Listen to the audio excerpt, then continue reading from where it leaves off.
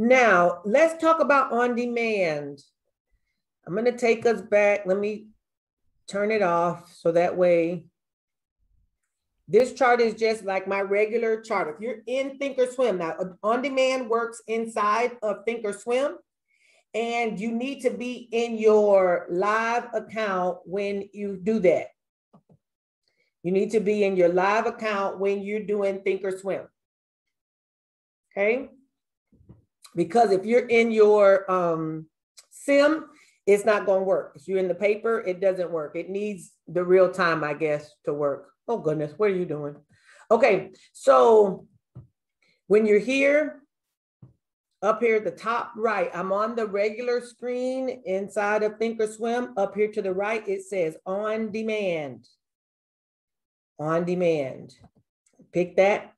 Now, the good thing about on demand is you it can take you back to some place in the past, some time, day, whatever, where you can replay something that happened.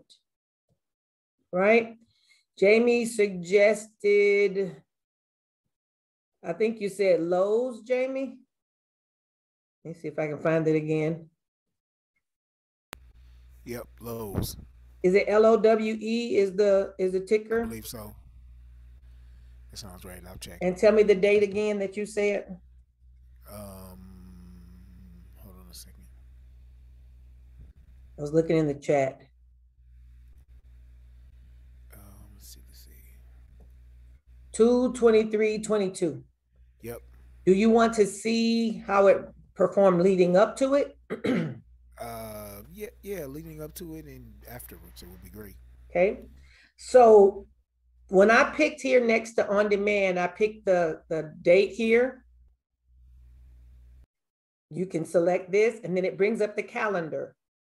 So we're going to look at February, February 21st must have been a holiday. we can put the, did it, it probably showed on the, at the end of the day. Now, this is going to be based on the time frame where you live. So that's why you see these numbers are this is what time the market opens where I live. Is at 1730, which is 530 in the evening. And then you select go. And you're on the, see if at the top is doing some pre-buffering. But once you pick go, it puts the chart in place. It has the chart available to you, the trades. You can go ahead and place trades on the, you can pick any, you know, ticker you're looking for. Basically, what it's doing is replacing the time of that time in the market. So if you're on, we're looking at February 22nd at when the market opened is what time this is, or you can pick whatever time of the day you want. And you can change stop to stop, doesn't matter. Again, on demand is giving you the time in the market. And then you can look at monitor. So let's say you do enter some trades. Um, it, it will monitor those trades for you to let you know whatever you were thinking, how would it do? I'm not sure why this is taking so long. Go ahead, Jamie. It's L it's L O W. That may be what's going on. W no E. Yeah, no E. e. There we go. I wonder what was taking so long for it to do something. Okay. So basically, we're looking at Lowe's. Looking at the chart bringing my pen in here. This is um, this is a daily chart. Uh, let's say you were look if you were looking at it more for that day, you're going to change the time frame. You can change the time frame to whatever you want here, and it's going to show you again. It's going to show you the candles as things are going, and it's showing it right to you real time. What's happening? Hey,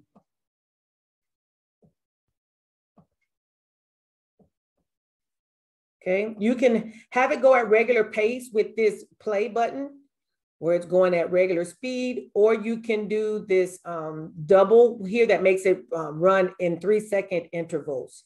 Regular time is running just regular one second, and then the three, the going faster runs in three second intervals. That particular morning looked like looks like things gap down. This was the opening of the day, and it gapped down here. So it's just gonna run it. And if you want to jump, you know, if you want to let it just play out, through the time, you can. If you hit this fast forward button with the line next to it, it's going to step forward about 10 minutes. So you can step forward 10 minutes forward and it'll say, well, this is what happened, you know, in that period.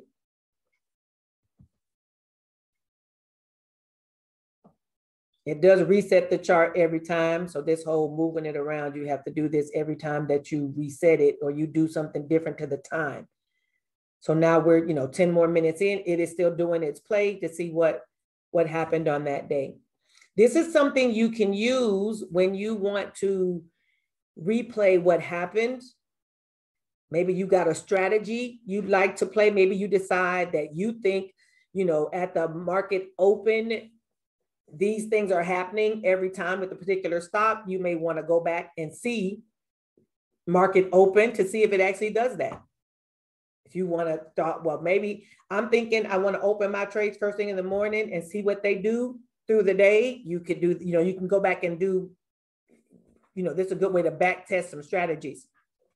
It can be a little time consuming because you're basically the time is running at this point it's running at three second interval. So it's running three times faster than real time but you got to let it play play out or you know do the fast forward thing and jump forward in the minutes if you want to do that. But i find this to be a very useful tool.